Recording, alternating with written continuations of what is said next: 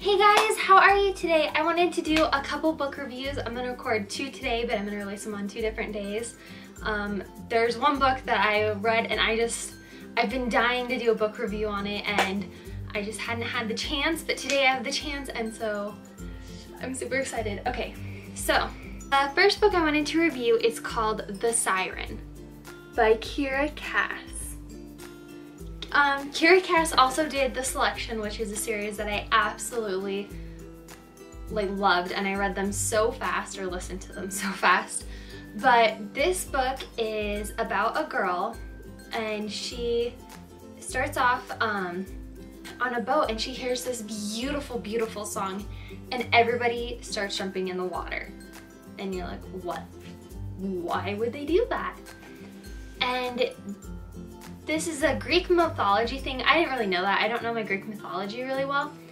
But in Greek mythology, there are these things called sirens. And they are, I would say, almost like a mermaid.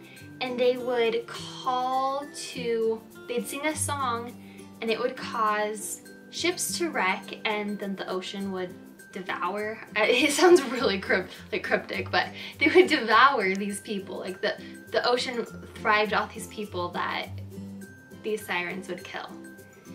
And so this book is about a girl who becomes one of those. And they have a certain amount of time that they have to serve. They're not allowed to have kids, they're not allowed to be married, they can't talk, none of that. And so this book is this one girl's life of being a siren. She is good at it. She starts off and she's she served 80 years and she's you know she's got it down. She lives her life. She does what she needs to do. She keeps the ocean happy and makes sure that she obeys at all times. Because in 20 years when she hits 100 years she's released and she's young and she's beautiful and she's who she is and she, now she gets to live her life so she's on her year 80 and she meets a boy. And we all know that when you meet a boy in stories, turns into trouble.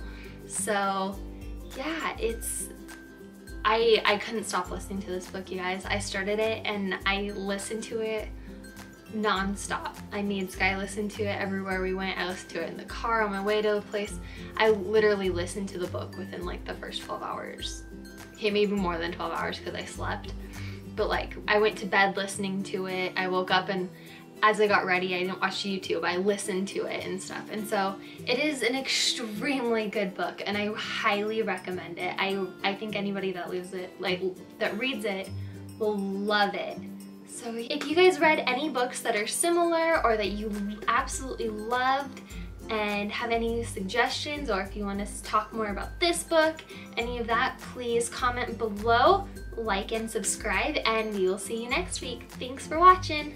Bye.